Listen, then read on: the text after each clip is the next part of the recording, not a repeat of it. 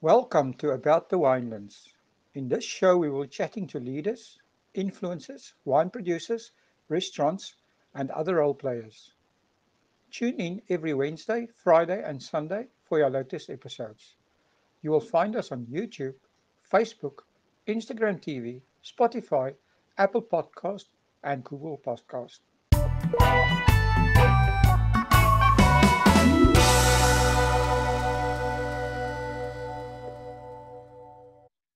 Hi, everyone, and welcome back to About the Winelands. Today, we are talking to Gizelle Coetzee. Gizelle is the um, sales and marketing manager, as well as the winemaker at Mellasat Vineyards. Hi, Gizelle. Hi, Will. Thank you very much. Um, it's nice to chat with you. It's our pleasure. Tell me, um, can you tell us a little bit about yourself and um, how you became involved in the wine industry?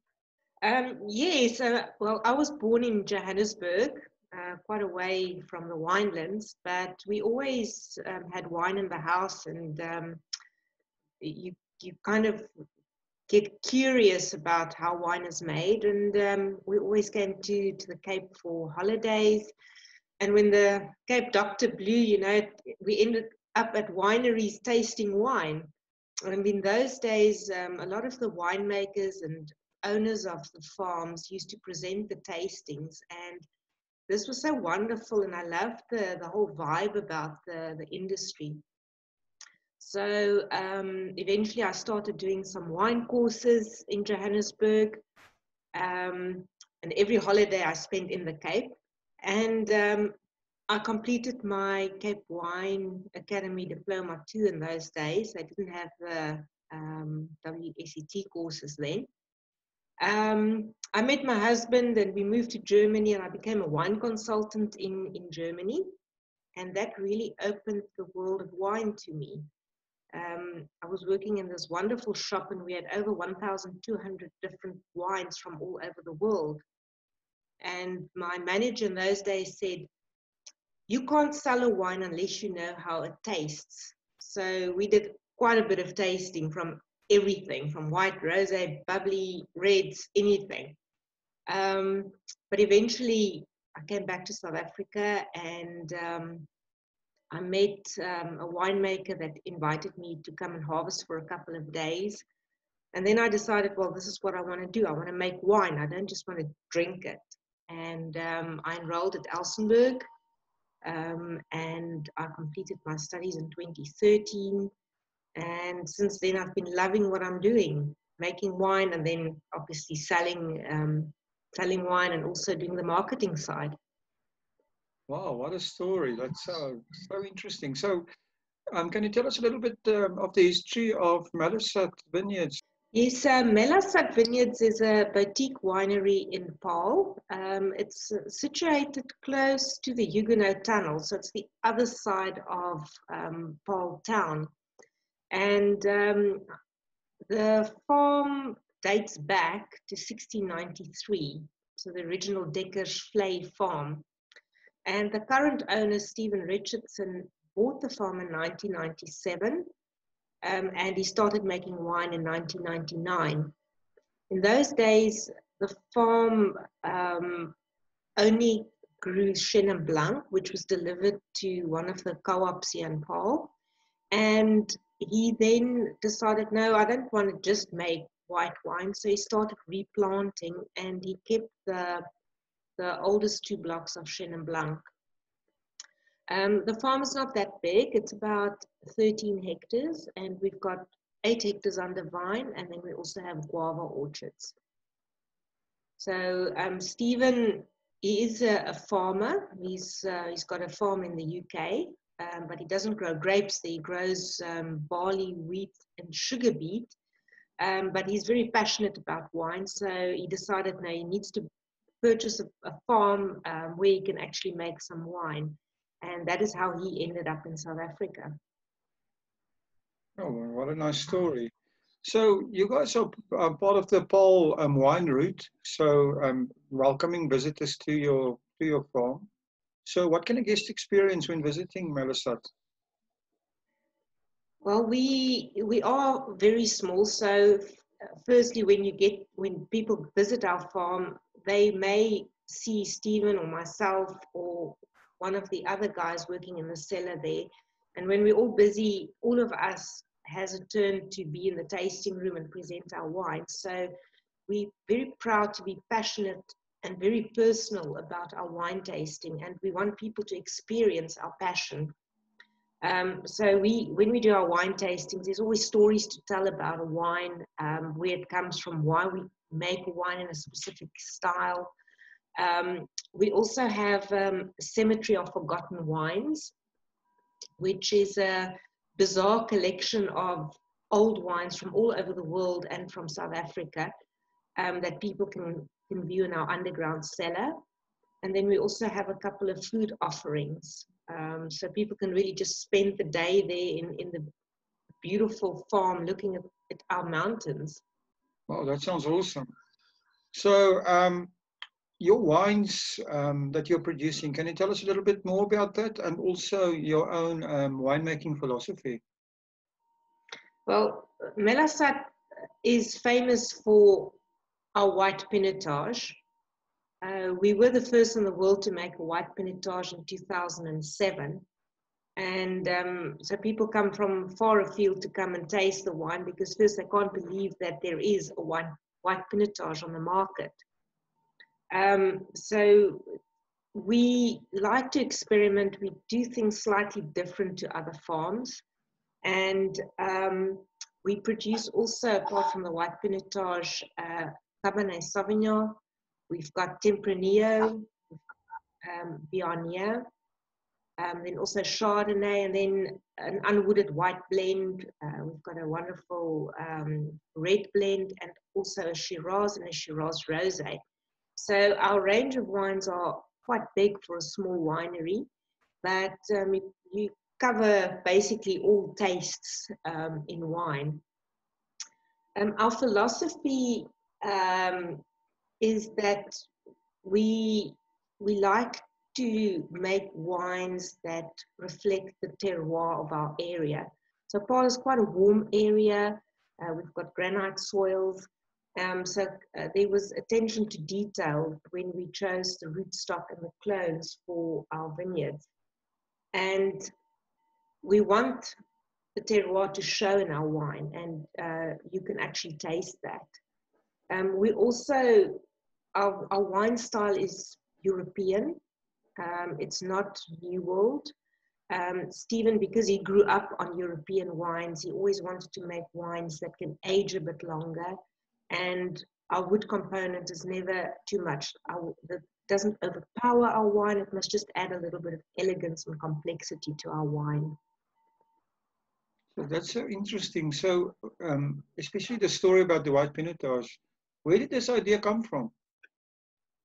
Um, well, the white pinotage, yeah, we made it, well, Stephen made the first barrel in 2007. And um, in the late 1990s, early 2000s, red pinotage was hammered in Europe, especially in Britain, for having rubbery and acetone flavors.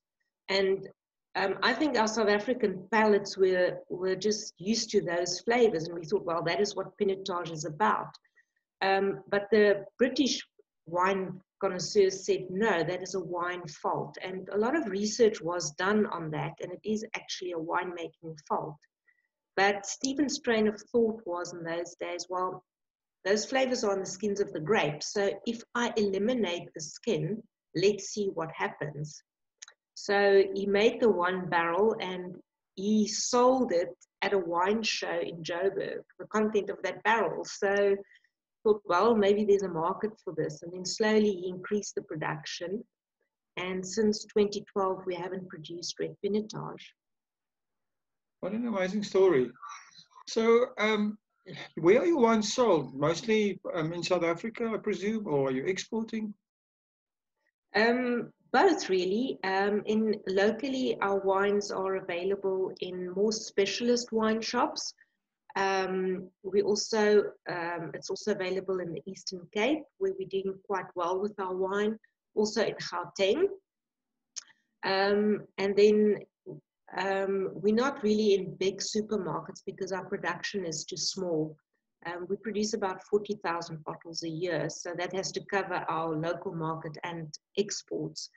Um, and our exports are mainly to Europe, so we're looking at, at Germany. Uh, we just sent a shipment during lockdown to the Netherlands, which safely arrived earlier this week, and um, then to Denmark, and then also the UK, then a little bit to the US, and we've also exported to Argentina.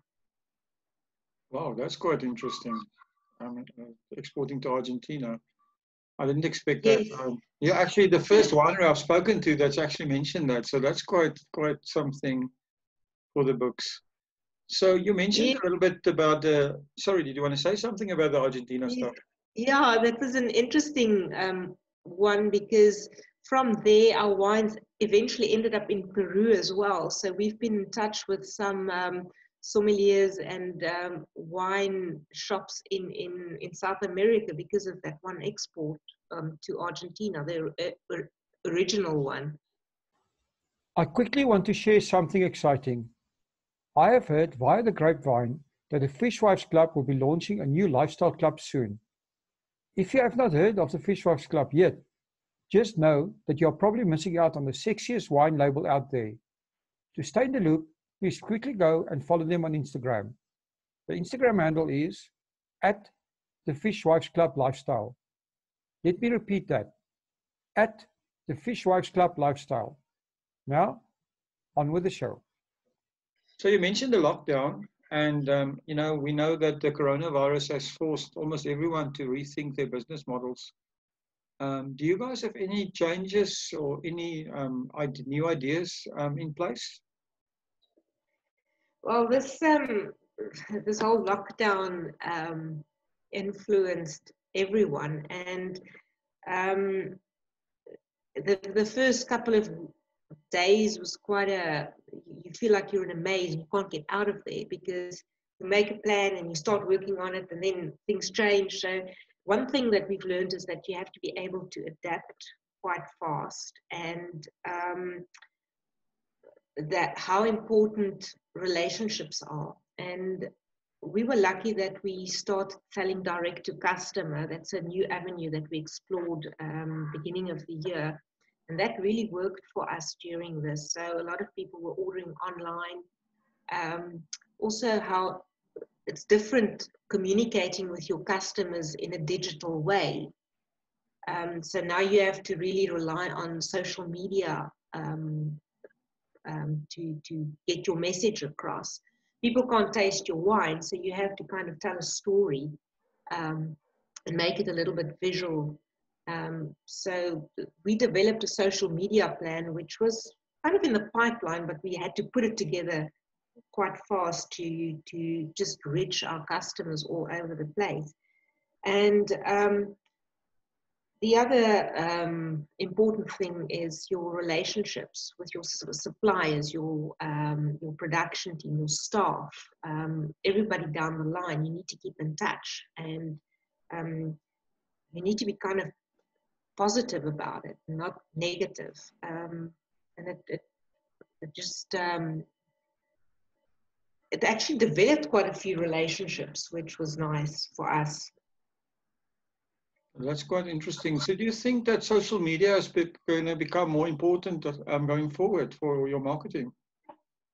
It will, yes. Um, because we're such a small team, we we um, have to be able to do everything, and um, because we couldn't get people to the farm, I our, our tasting room manager Alzan um, she used to do a little bit of our social media, but now she's just doing social media. And it's not just posting, um, doing normal posts on Twitter and Facebook. I mean, it was also putting videos together and making it more interesting. And our followership on those um, social media platforms really grew over the last eight weeks, which we are very happy about.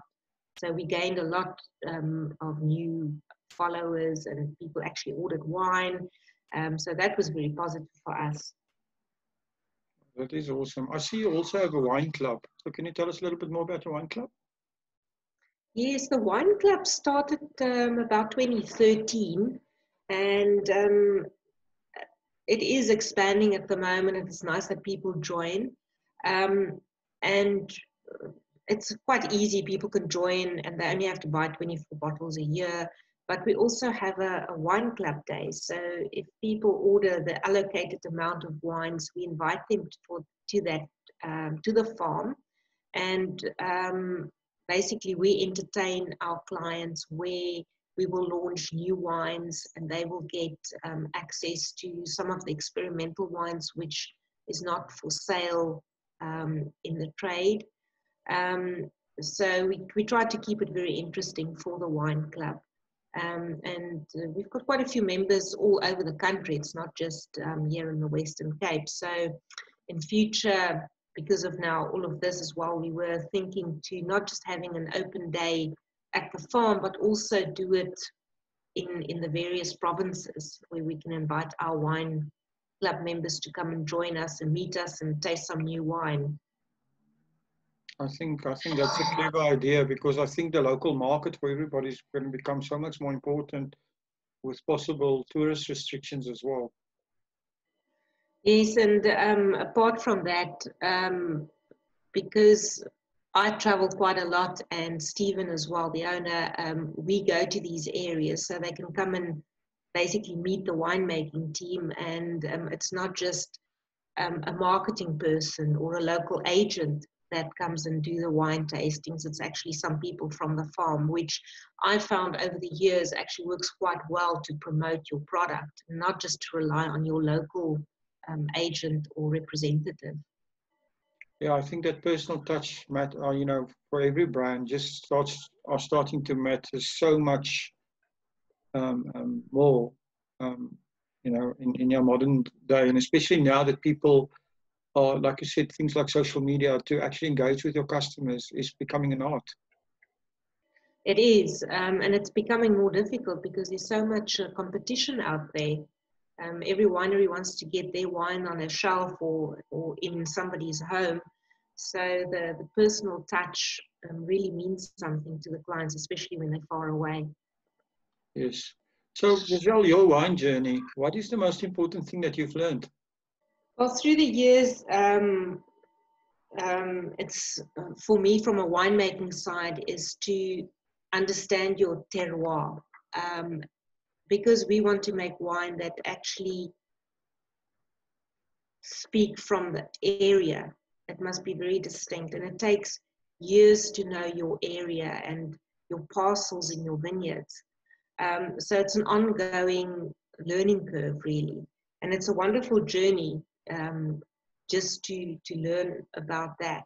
Um, and in our area, we've noticed with a couple of farms in the area that there's a, a very specific flavor profile um, where we are, which is totally different to, to the other side of Paarl. Um, the other thing that is always also important for me is um, the relationships that you build over the years. Doesn't matter um, who you talk with, the wine industry is actually a very positive industry, and people are always willing to help and share ideas and um, especially like a difficult harvest, you can speak to other winemakers and they will share their ideas and how they solve their problems, and that is very important. And it's a wonderful journey that in itself. Yeah, I, I agree with you. The one thing I've learned by interviewing a lot of um, uh, winemakers and um, people in the industry over the last few weeks is that um, the wine industry seems to be um, extremely collaborative. People are not shy to work together and to take hands. Yes, that is one of the reasons why I really wanted to get into the wine industry. Um, my first harvest that I did um, was the famous winemaker. Um, I'm sure I can mention his name. Yes, please do. Um, I met David Nieuwoudt from Cederberg um, many years ago, and one day I got a call and he said to me, he's looking for a female winemaker to just come and help during the harvest for a couple of days. And I said, yes, yes, yes, I'll definitely be there. And that just was amazing um, that somebody would actually share that information and not be shy to, to bring people that he doesn't know from anywhere into his cellar and to come and help to make wine. Um, and that is how I would like to be. You, you need to share, you need to educate people um, on wine and um, help one another because this is what it's about and this is how we will succeed. So, are you finding that young people are, um, the younger generation, are interested in wine and the industry? Um, yes, um, not as much as when I was younger, but um, there's a lot of young people that will come and talk and say, "What what is it like? What is the industry like? Is there a future in the industry?" Um, but I find that young people are probably a little bit um, more careful in what they drink. I mean, the whole um, trend is changing. So it means that we also have to adapt to what the young people um, are looking for and what they are drinking. But um, from a job perspective in the wine industry, there, it's very diverse. You don't necessarily have to make wine. Um, you can be in marketing. You can um, be in one of the other industries that supplies the wine industry, like um, barrel suppliers, like um, suppliers that um, supply all the products for winemaking, yeast, and all those things. It's very interesting. So you don't have to physically get dirty and work these long hours during harvesting. And I don't think people understand this actual size of the wine industry. I think that's very, very true. So the question I ask to everyone is to actually um, give us a wine quote. So can you give us your own wine quote or your favorite wine quote?